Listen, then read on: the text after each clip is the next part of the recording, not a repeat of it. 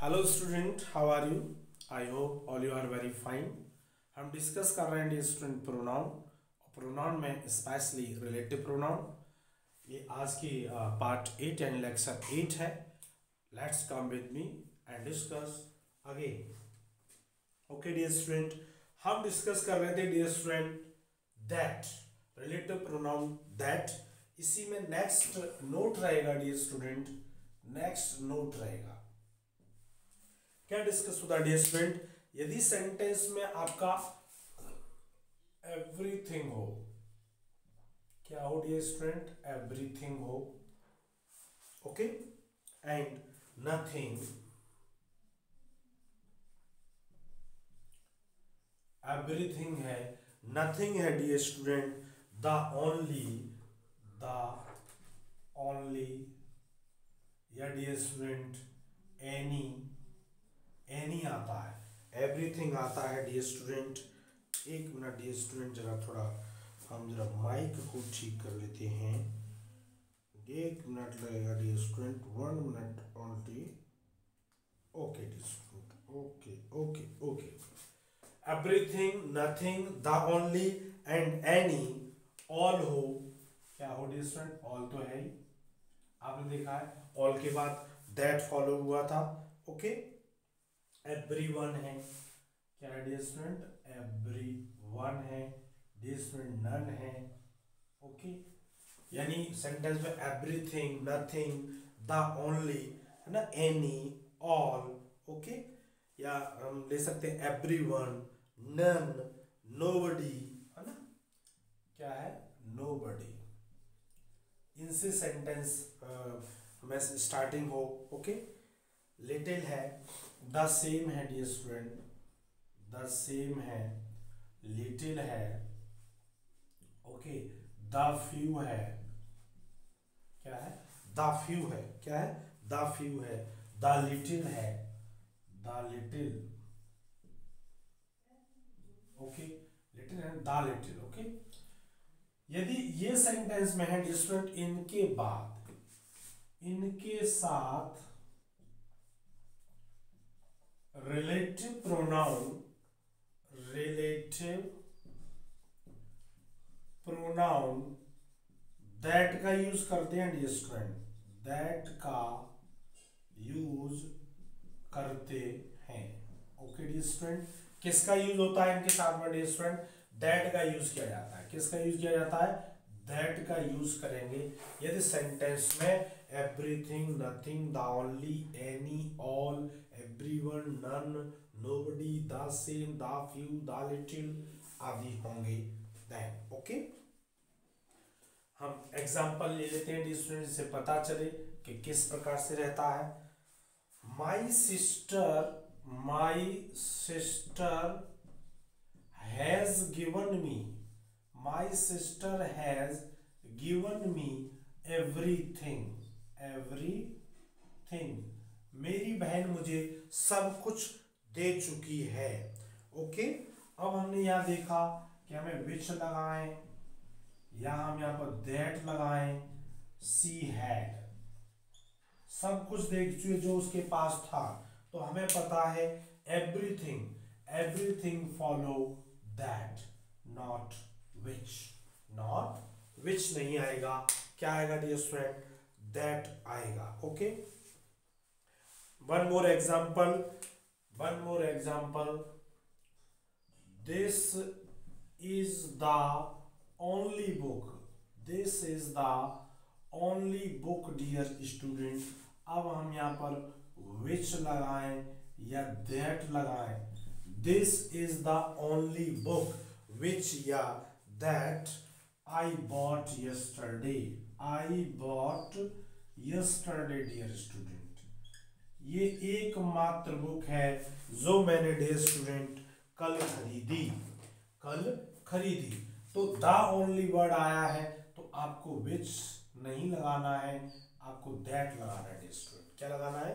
That का use करना है। अब हमने एक और example I have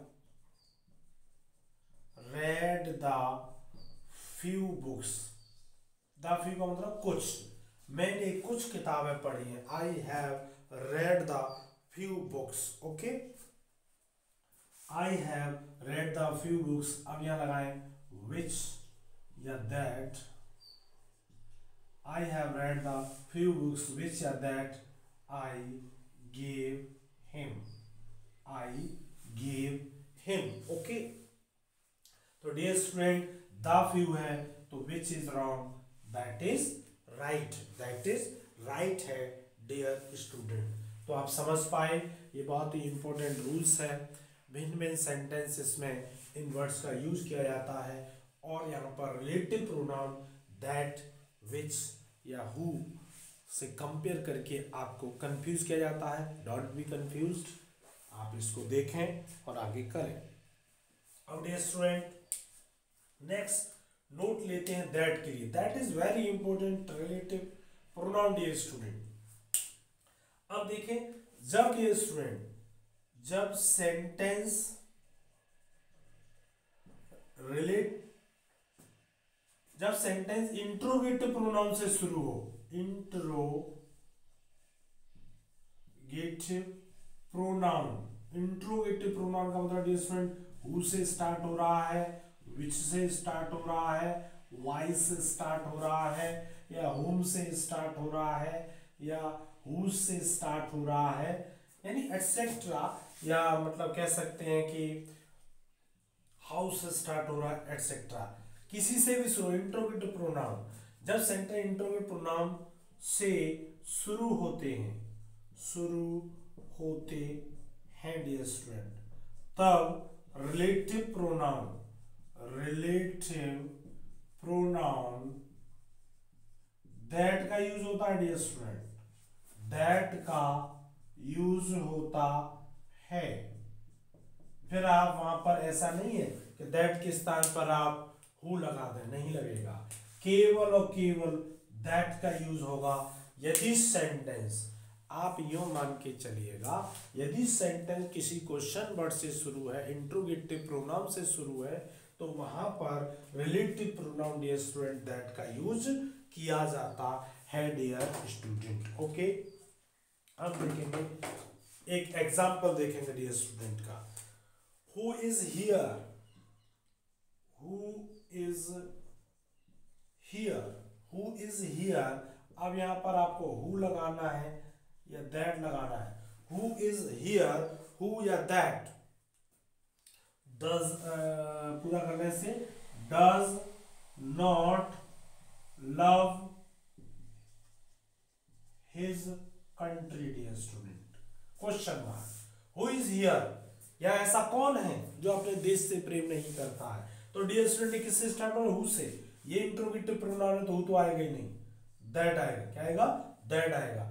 जब भी यहाँ पर इंट्रोगेटिव प्रोनाउन से शुरुआत होगी सेंटेंस की तो रिलेटिव प्रोनाउन के रूप में केवल और केवल दैट का यूज़ किया जाता है डियर स्टूडेंट ओके आप वीडियो पोज करें, फिर हम आगे मूव करते हैं. ओके डी स्टूडेंट आगे हम मूव करते हैं. आई होप आपने कर लिया होगा. आई होप आपने इसको कर लिया होगा. नेक्स्ट नेक्स्ट आगे बढ़ते हैं डियर स्टूडेंट ओके नए कॉन्सेप्ट के साथ दैट आपका वही रहा. न्यू कॉन्सेप्ट है डियर स्टूडेंट यदि सच जब आता है सच के साथ ए या एन प्लस नाउन आती है डियर स्टूडेंट या सच के साथ ये स्ट्रक्चर भी आता है ए या एन फिर नाउन के आगे एडजेक्टिव दिया जाएगा। क्या दिया जाएगा? एडजेक्टिव फिर नाउन हो सकती है। यदि ऐसा स्ट्रक्चर डियर स्टूडेंट दिया है कि सच ए एन नाउन ये चीज़ अगर दी है, इसके बाद डियर स्टूडेंट आपको relative pronoun relative pronoun relative pronoun आप दैट का यूज़ करेंगे। रिलेटिव प्रोनाउन दैट का यूज़ करते हैं डियर स्टूडेंट ओके किसका यूज़ करते हैं? रिलेटिव प्रोनाउन दैट का यूज़ होता है डियर स्टूडेंट ओके हमने एग्जांपल लिया। She is not she is not such a beautiful girl she is not such a beautiful girl okay अब यहाँ हम लगाए दैट या who he expected okay dear student अब सेंटेंस तो गलत और बात नहीं है। या ऑप्शनल है कि she is not such a beautiful girl that या हु तो सच आने की वजह से डियर स्टूडेंट हु नहीं आएगा, नहीं, आप देखेंगे गर्ल पर्सन है तो हु लगा दे, नहीं, या दैट आएगा डियर स्टूडेंट क्या आएगा? दैट का यूज़ होगा डियर स्टूडेंट ओके किसका यूज़ होगा डियर स्टूडेंट दैट का। Such is she is not such a beautiful girl, such a beautiful girl that he expected he expected, dear student, okay? Next concept next concept हम देखेंगे। सबसे बेहतरीन concept है dear student but का। But से बच के रहें डियर स्टूडेंट बट से बच कर के रहें। बट बहुत ही गिरगिट है डियर स्टूडेंट क्या है ये? गिरगिट है। देखिए बट एक कंजंक्शन होता है। क्या होता है डियर स्टूडेंट कंजंक्शन होता है। जब कंजंक्शन होता है, जब इसकी हिंदी परंतु, किंतु लेकिन ये होती है इसकी हिंदी। ठीक है डियर स्टूडेंट बट एक प्रपोजिशन भी होता है। प्रीपोजिशन होता है। जब इसकी हिंदी के सिवाय होती है डियर स्टूडेंट के सिवाय या के अलावा के अलावा हम्म ये होती है डियर स्टूडेंट इसकी हिंदी। लेकिन डियर स्टूडेंट ये बट एक प्रोनाउन भी होता है। प्रोनाउन भी होता है। प्रोनाउन में भी ये रिलेटिव प्रोनाउन होता है। रिलेटिव प्रोनाउन होता है। क्या होता है डियर स्टूडेंट रिलेटिव प्रोनाउन होता है। जब इसकी हिंदी होती है, जो डेड डैश नहीं। जो डेड डैश नहीं, या जिसने डेड डैश नहीं। जिसने डेड डैश नहीं होती है इसकी हिंदी। ठीक है डियर स्टूडेंट यानी अगर कोई आपसे पूछता है बट क्या है? तो आप सेंटेंस देखकर ही बता पाएँगे कि बट कंजंक्शन है बट प्रीपोजिशन है, या बट आपका प्रोनाउन है। क्या है? बट प्रोनाउन है। ओके डियर स्टूडेंट लेकिन इसकी प्रोनाउन के रूप में डियर स्टूडेंट पहचान है। प्रोनाउन के रूप में इसकी ये पहचान है। नोट करें इसको कि जब कोई निगेटिव वर्ड आएगा, क्या आएगा? निगेटिव वर्ड होगा, उसके बाद ही बट लगेगा। Okay dear student negative word होगा, उसके बाद बट लगेगा, जब इसकी हिंदी रहेगी ये। ओके जैसे हमने देखा there was nothing there was nothing और नथिंग क्या है डियर स्टूडेंट नथिंग है निगेटिव वर्ड क्या है? निगेटिव वर्ड फिर लिखेंगे but B R E A K A B L breakable breakable का टूटना. अब डियर स्टूडेंट अगर एग्ज़ाम में उसने बट को अंडरलाइन कर दिया तो पूछ लिया उसने क्या है? तो बताना थोड़ा मुश्किल हो जाएगा. यहाँ पर ये क्या है? प्रोनाउन है डियर स्टूडेंट क्या है? प्रोनाउन है. क्या हिंदी है इसकी? There was nothing but breakable कुछ नहीं था। वहाँ कुछ नहीं था जो। कुछ नहीं था जो। जो क्या है? भंगुर नहीं था। जो भंगुर नहीं था। मतलब टूटने योग्य, सब कुछ टूटने योग्य था। कुछ भी ऐसा नहीं था जिसे तोड़ा न जा सके। तो जो और नहीं, जो और नहीं। कुछ नहीं था there was nothing but breakable जो भंगुर नहीं था। जो भंगुर नहीं था। एक और example one more example dear student there there is no Hindu there is no Hindu dear student there is no Hindu there is no Hindu but knows the story of Mahabharat Mahabharat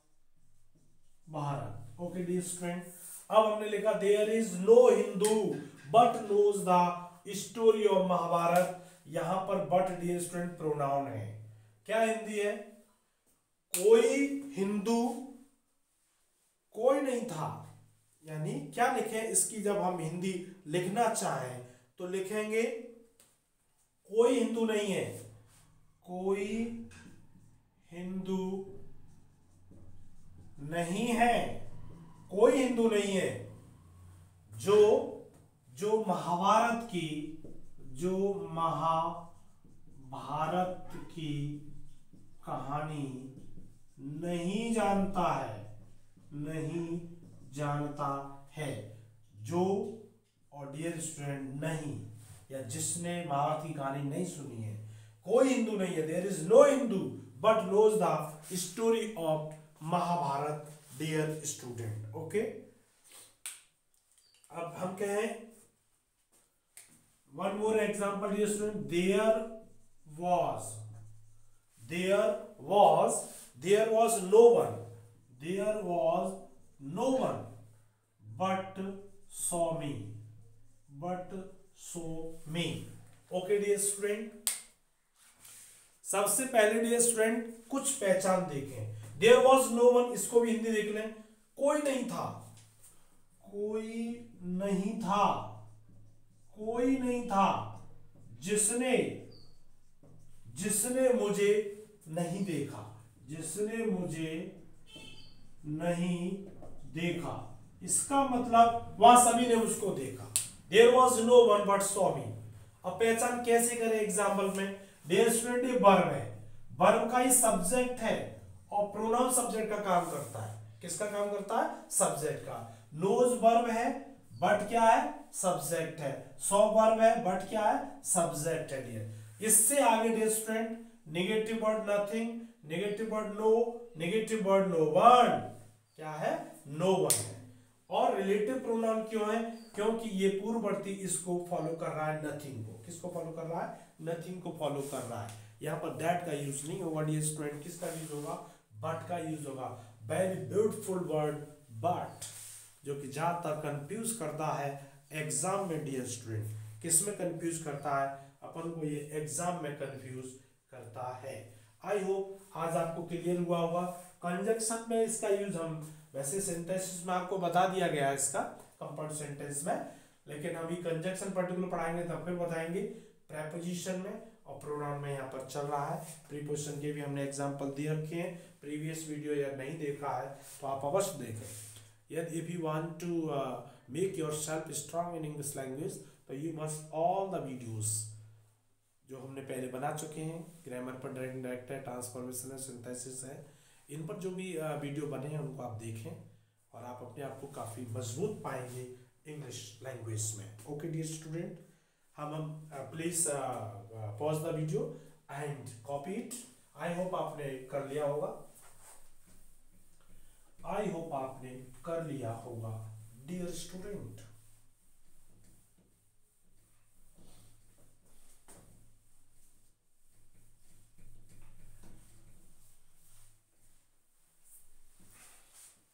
next चलते हैं student बहुत ही आप चीज़ देख रहे होंगे। एक चीज़ भी यहाँ पर नोटिस की होगी। ये देखा रूल होता है कि रिलेटिव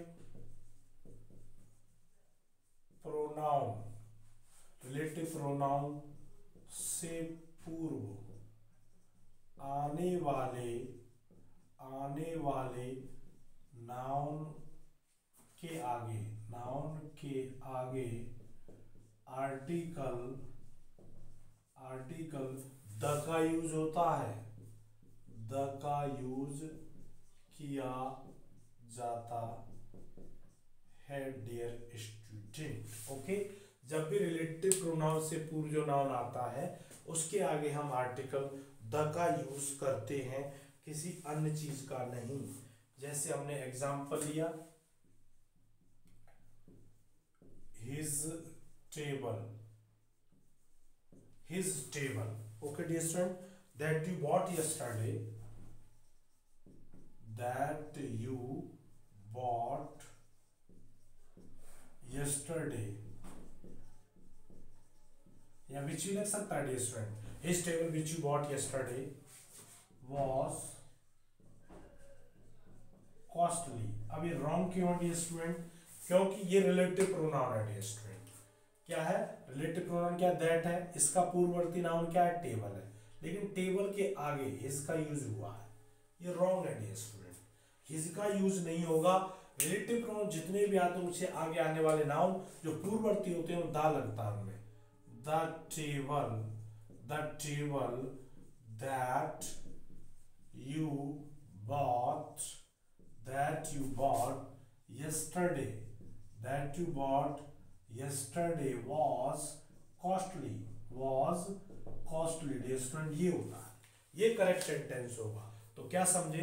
रिलेटिव प्रोनाउन से जस्ट उसका जो पूर्ववर्ती होता है, उस नाउन से पहले हम द का यूज़ करते हैं डियर स्टूडेंट ओके ये रूलिंग है। It's a rule okay next rule next rule देखते हैं डियर स्टूडेंट नेक्स्ट रूल भी फॉलो करते हैं। यदि रिलेटिव प्रोनाउन का एंटीसीडेंट यदि रिलेटिव प्रोनाउन का एंटीसीडेंट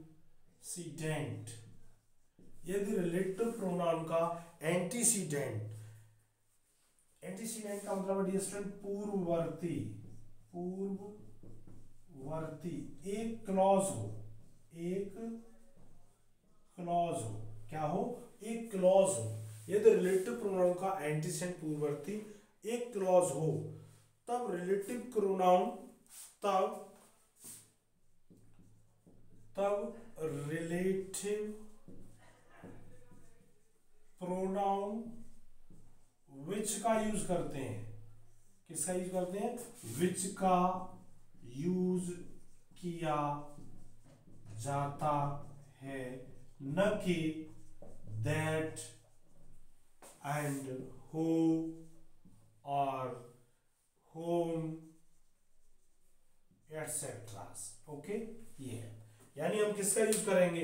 यदि क्लॉज है आगे, क्या है? क्लॉज अगर दिया है और क्लॉज क्या होती हैं? ये सारा हमने प्रीवियस वीडियो सिंथेसिस में पढ़ाया है। बहुत अच्छे से आपको क्लॉज की जानकारी दी है वहाँ पर सबऑर्डिनेट क्लॉज कोऑर्डिनेट क्लॉज क्या होते हैं प्रिंसिपल क्लॉज क्या होते हैं everything I have taught you यदि आपने नहीं देखा तो प्रीवियस वीडियो में आप जाकर के इस चीज़ को देख सकते हैं डी स्टूडेंट अब ये स्टूडेंट हमने एग्ज़ाम्पल लिया इसके लिए. एग्ज़ाम्पल जैसे हमने इसका एक एग्ज़ाम्पल लेते हैं okay he passed 10 he passed 12th examination he passed 12th examination he passed ऐसे लिखो इसे he passed the 12th examination ठीक he passed the 12th examination in 2019 with 87 percent with 87 percent marks okay dear student marks इस marks के साथ उसने पास किया फिर हमने यहाँ लिखा दैट या विच दैट या विच लिखा डियर स्टूडेंट दैट दैट या विच फिर लिखा हमने that he was and he was and intelli I N T E double L I G N T intelligent intelligent student intelligent student क्या बना? He pass the twelfth examination in in 2019 with 87 percent marks that which that या which that तो लग जाएगा इसमें से that या which proofs यहाँ बर्ड लिखेंगे स्टूडेंट प्रूफ्स दैट या विच प्रूफ्स फिर लिखेंगे यहाँ पर दैट क्या लिखेंगे? That he was an intelligent student. अब देखा यदि रिलेटिव प्रोनाउन का एंटीसेंट पूर्ववर्ती क्या हो? एक क्लॉज हो। क्या हो? एक क्लॉज हो डियर स्टूडेंट क्या है? अब ये पूरा सेंटेंस क्या है? पूरा सेंटेंस क्लॉज क्लॉज है। तो यहाँ पर डियर स्टूडेंट किसका यूज़ होगा? विच का यूज़ होगा? किसका यूज़ होगा डियर स्टूडेंट यहाँ पर विच का यूज़ होगा? ओके डियर स्टूडेंट आपने एक बार फिर देखें। यदि रिलेटिव प्रोनाउन का एंटीसेंट पूर्ववर्ती क्लॉज हो। तब रिलेटिव प्रोनाउन विच का यूज़ किया जाता है दैट नहीं he passed the 12th examination in 2019 with 87 17 87% marks. ये क्या है? क्लॉज है। अब इसको हम कर रहे हैं दैट नहीं which proves that he was an intelligent student okay yes यहाँ पर विच का यूज़ होगा? वीडियो पोज करें कॉपी करें, फिर हम आगे मूव करते हैं। ओके आई होप आपने कर लिया होगा। Very very important rules dear student आगे आप फॉलो करेंगे। देखें। नेक्स्ट रूल में आप देखेंगे। रिलेटिव प्रोनाउन से पूर्व। रिलेटिव प्रोनाउन से पूर्व। यानी पूर्व मीन्स पहले। एपोस्ट्रॉफी एस एपोस्ट्रॉफी एस का यूज़ नहीं किया जाता। रिलेटिव प्रोनाउन से पहले एपोस्ट्रॉफी एस का यूज़ नहीं किया जाता है डियर स्टूडेंट नहीं किया जाता है। एपोस्ट्रॉफी एस का आप यूज़ नहीं करेंगे। जैसे ही वेंट टू आपने लिख दिया ऐसे Mohan's house Mohan's house. He went to Mohan's house. Who is my friend who is my friend अब डियर स्टूडेंट सोचिएगा ये सेंटेंस गलत क्यों हो गया?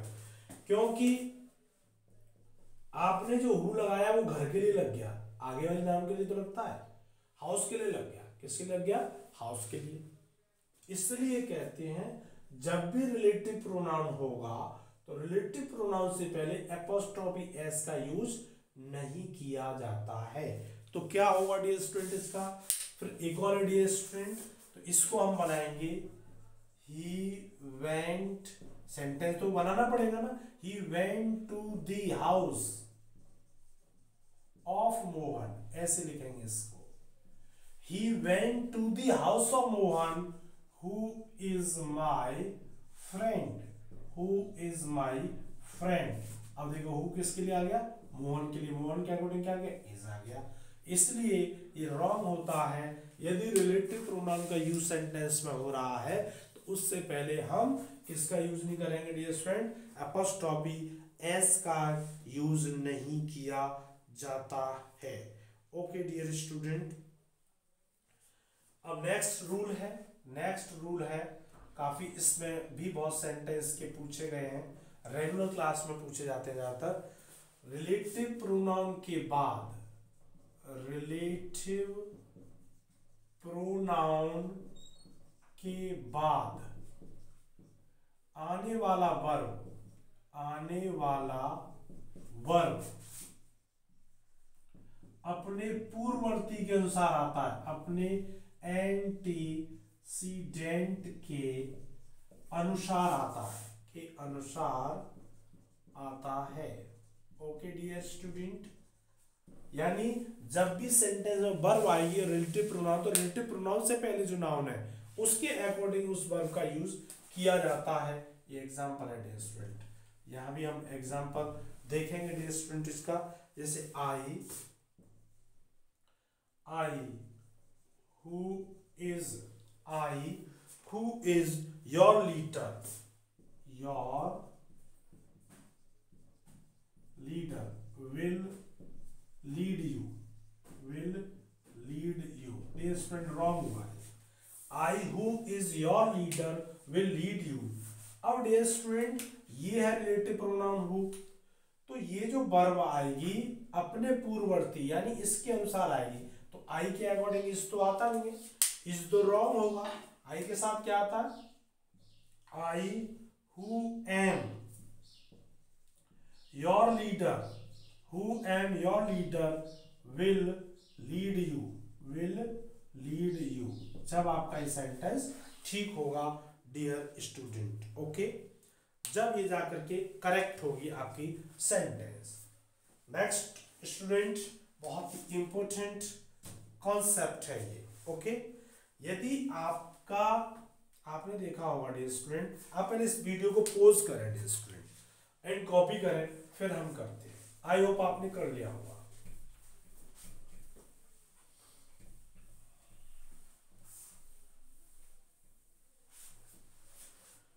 डियर स्टूडेंट ये जो रूल है भर भर के इतना ज़्यादा क्वेश्चन कंपटीशन में पूछा गया है, बहुत अधिक। इस कॉन्सेप्ट देखो कैसा कि इधर से कर लिखते हैं।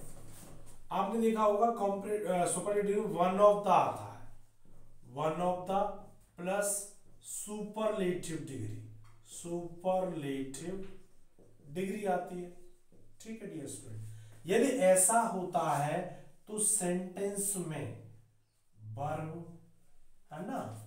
और प्रोनाउन वर्ब और प्रोनाउन दोनों ही किसके आते हैं डियर स्टूडेंट प्लूरल के यूज़ होते हैं। किसके डियर स्टूडेंट यूज़ होते हैं? प्लूरल के यूज़ किए जाते हैं। लेकिन डियर स्टूडेंट जब इसमें एक वर्ड लग जाए द ओनली क्या लग जाए? द ओनली फिर हो one of the plus superlative degree superlative degree हो, डियर स्टूडेंट। आप ये मान जरा वेरी वेरी वेरी की पावर टेन इंपॉर्टेंट है ये। काफ़ी क्वेश्चन अच्छे अच्छे एग्ज़ाम में पूछे गए हैं।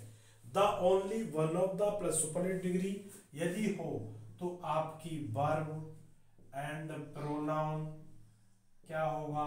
सिंगुलर का यूज़ होगा। हम ने बना लिया वन ऑफ़ द हो वन ऑफ़ द देखते हैं, और सेंटेंस को रॉन्ग कर देते हैं। जबकि वन ऑफ़ द के साथ प्लूरल भी आता है सिंगुलर।